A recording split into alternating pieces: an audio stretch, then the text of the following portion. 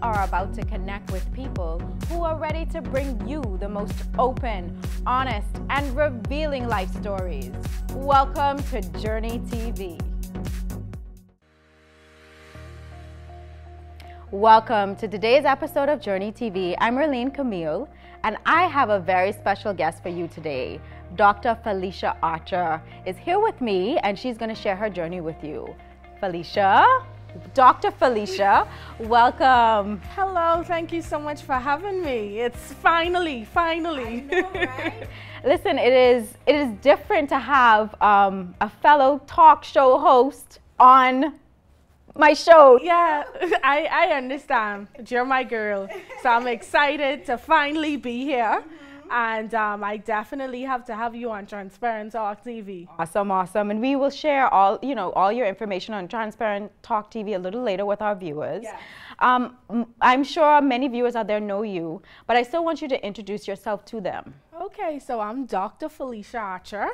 Um, my pet name is uh, my family name is Fifi, but everybody know me as Firestarter, uh, because of the way that the Lord would use me in ministry. And I got that name several years ago when I started radio on Glory 93.9 FM, mm-hmm. actually Spirit Gospel, and then I transitioned to Glory 93.9 FM. I'm an author, I'm a life coach. Mm-hmm. Um, I hold several degrees in um, Christian leadership and organizational management skills.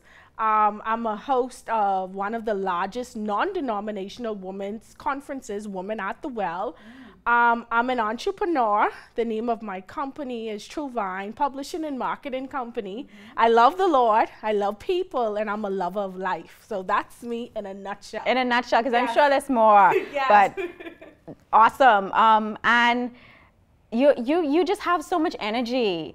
Just your whole presence even on social media you know you speak life into people. Um, just here as soon as you open your mouth everything just lit up. So i mean it, it is a pleasure to be connected with you. It's actually a blessing to be connected with you. Amen. It's a blessing to be connected um, with you too because i believe that whenever when God wants to bless you, he sends someone into your life.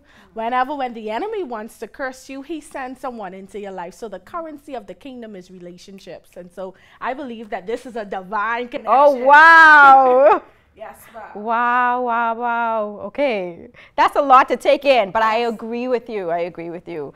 Um, so you're holding your book, right? You just released this book. Yes, the Tell single us preacher. So the single preacher is a hot seller. The first week we got the books was sold out before the books got here. And yes, you finally got your book, your book. And um, it is a book that the Lord had me to write about my journey in terms of actually being a single preacher. And I'm very transparent and open in this book where I talk about the do's and the don'ts of dating. I share my life um, I'm with my readers. Mm-hmm. This book was, I decided to write this book after so many times, after preaching, everyone was interested to find out, Felicia, how do you date as a public figure? Mm-hmm. How do you date as a woman? Mm-hmm. And so I decided, hey, why not write a, write, write a book about it and why not talk about it? And I talk about some of the myths of being single as well.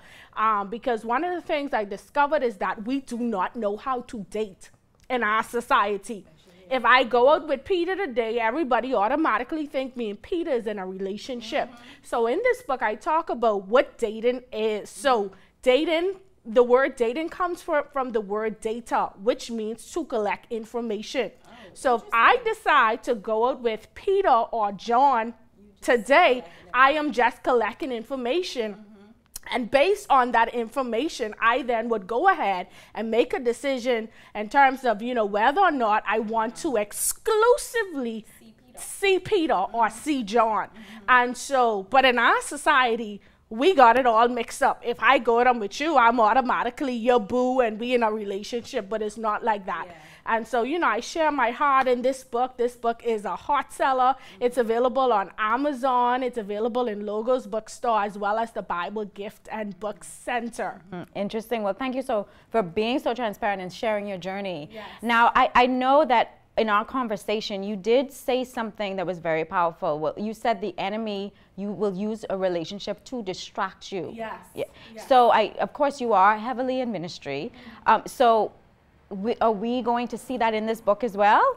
Yes, actually, in my first book, I talk about um, in the, the the name of the book is called "She Found Herself," mm-hmm. and so I talk about me actually being the prodigal daughter. Mm-hmm. Because you see, I grew up in church, I'm a PK.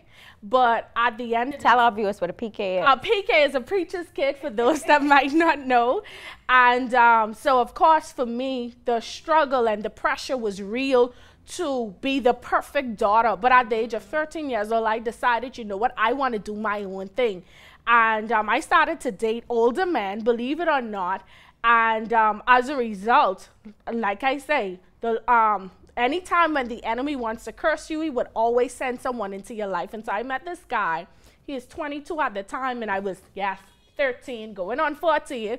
I'm being transparent here. I'm sharing my truth here. I'm sharing my truth here.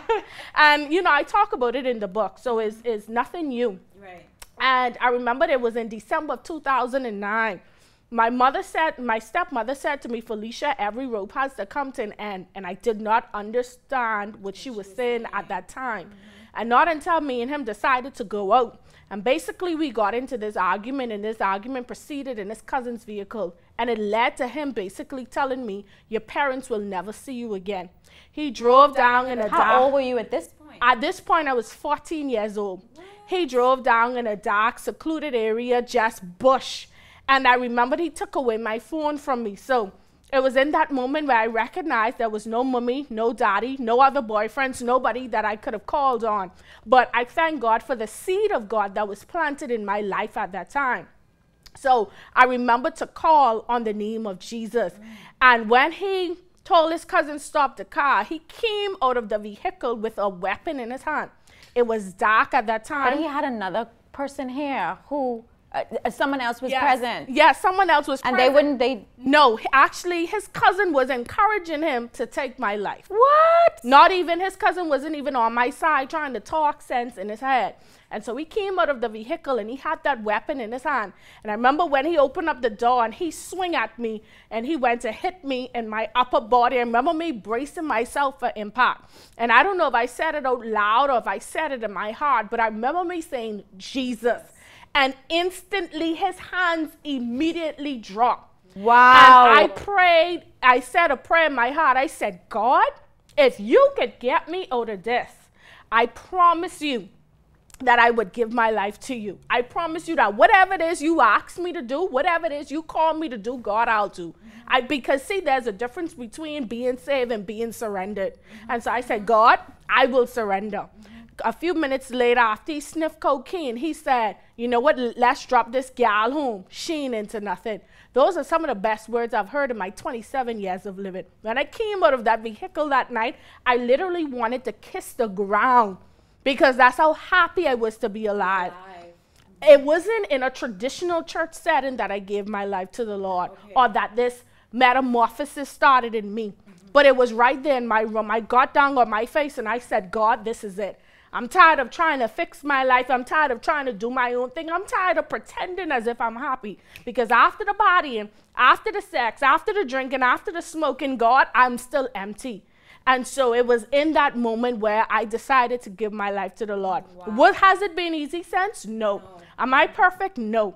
But at the end of the day, every time I fall down, I get back up again. And that's what the journey is about. And I was just going to say that. That's why it's so important for us to tell our journey. Mm-hmm. Because of that experience, you are able to reach your people, yes. the people that you have been um, chosen to speak over mm-hmm. in a different way. Mm-hmm. And you know, sometimes people see see you or see anyone, and they only see what is in front of them. They have no idea what they went through. But we're going to take a quick break and be right back to finish this conversation with you. Don't you go anywhere. We'll be right back after this commercial break.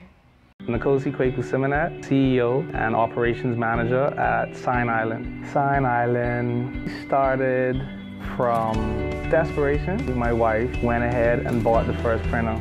I still have no idea how we are where we are. I owe it all to my staff and my customers. You need support. One man is not an island. You can't do it on your own. If you think you can do it on your own and you are succeeding, you can do even more with a little bit of support. The support I've got from my clients has been amazing. Welcome back to our conversation with Dr. Felicia Archer, the fire starter. If you are just joining us, you missed the fire that was started already. But we are going to continue with this powerful conversation. So, Felicia, you mentioned the book, She Found Herself, as well. Yes. And you said that in that book, you talked about being the prodigal daughter. Yes. Um, help us to understand exactly what that looks like, what that looked like in your life. Okay. So, of course, most of us um, would have probably heard the story before of the prodigal son. We know he traveled away from home, asked for his inheritance before time. And the Bible says that he was he found himself feeding swine. After all his money had run out, there was no friends, nobody finding he found himself feeding swine. Now there there part of that scripture says, and he came to himself which means that he caught himself. It was in that moment in time where he catch himself, and it was as if, um, you know, he had an epiphany experience. I don't have to be here. The slaves in my father's house living better than me. Mm-hmm. Let me try hard, go home. Mm-hmm. And so for me, I refer to myself um, during that time as the prodigal daughter because I knew that no matter how far I strayed away from God or from home, so to speak, He would always accept me back, even in my messed up state, even in my messed up um, situation.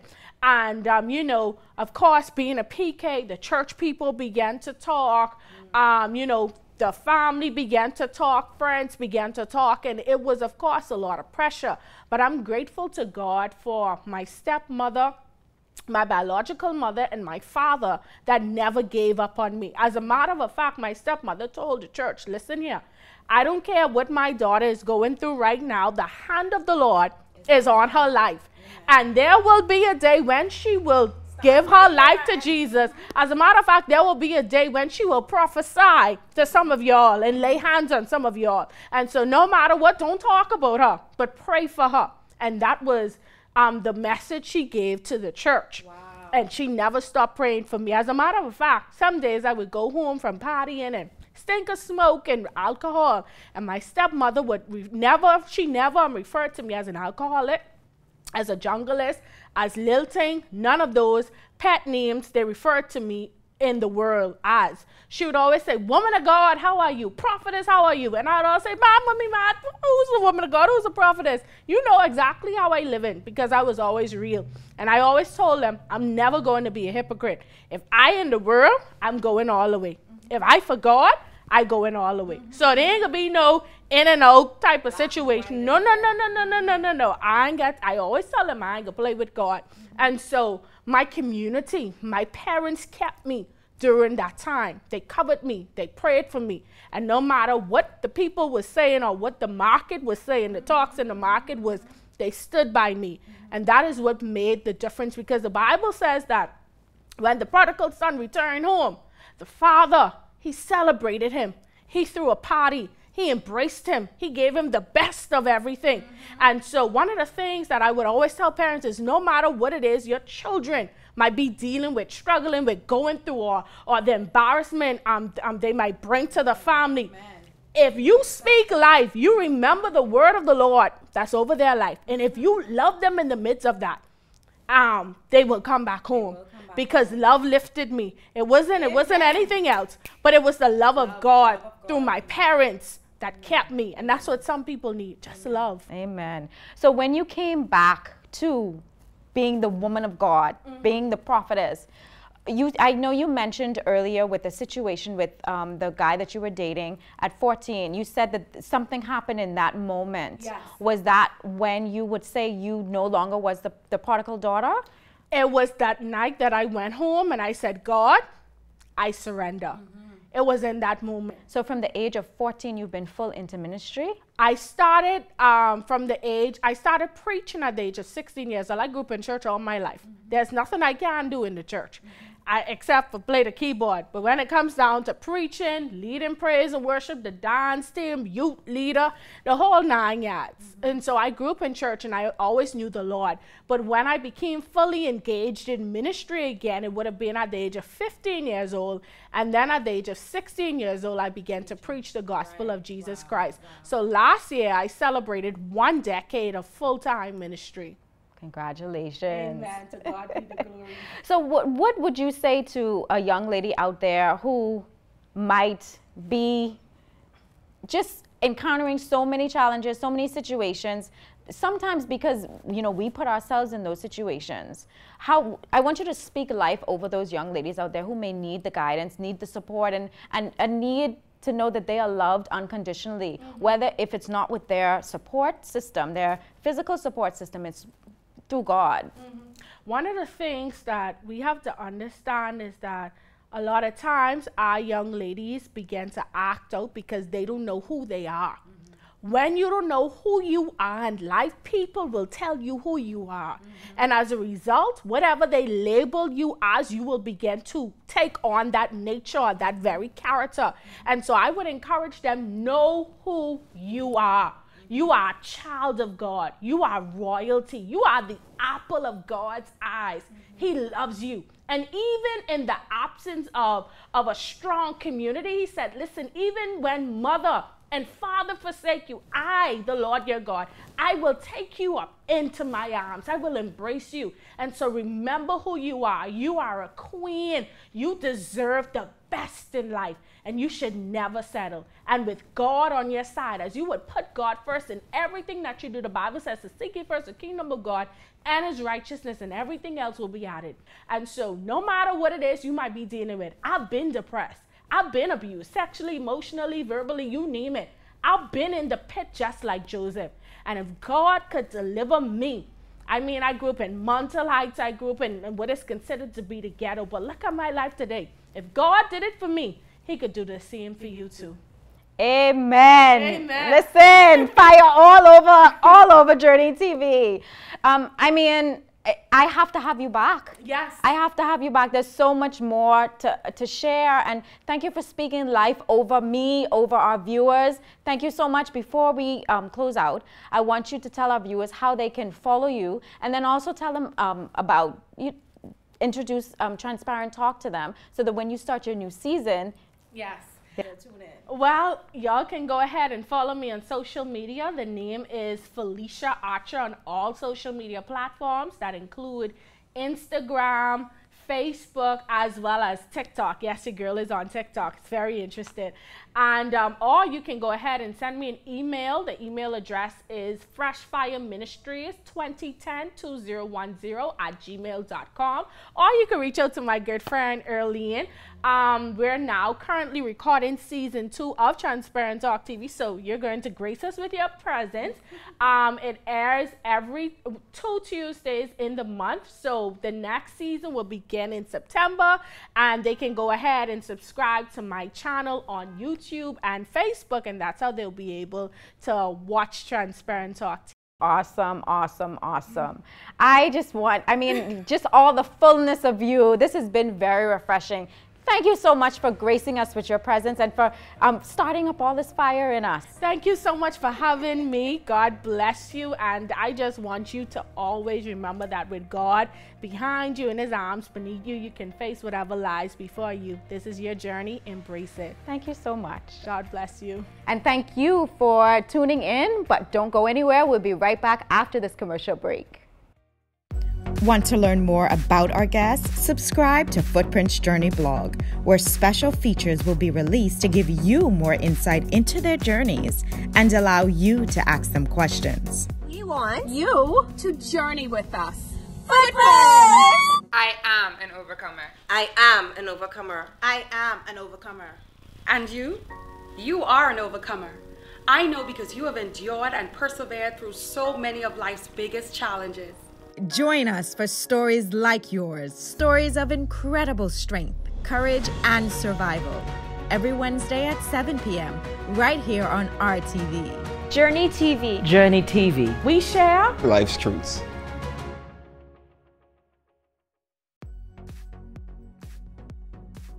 The Give Back, presented by Ensure. Your life, your health, your Ensure. My name is Candace Roll, and I am the director of P31, which stands for Proverbs 31 Young Ladies Mentorship. P31 was not started or initiated by me.